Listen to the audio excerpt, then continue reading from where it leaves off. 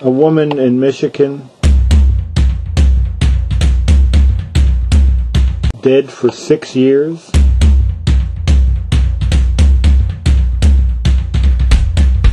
In her car in the garage. And they only find her after her bank account is drawn and her house is foreclosed. God bless America.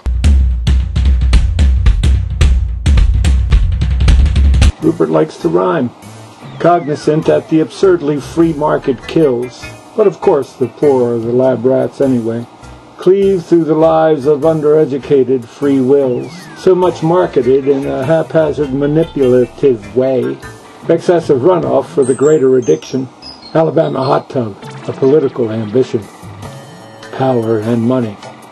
Clannishness, an ungodly contradiction. Alabama hot tub relenting conservatively without guile but submission. Runoff from the nose on the face.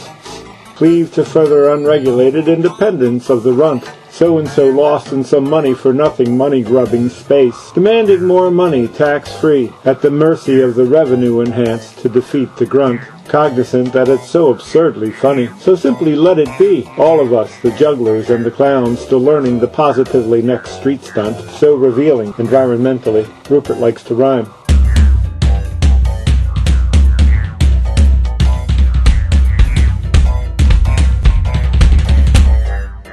Rupert likes to rhyme.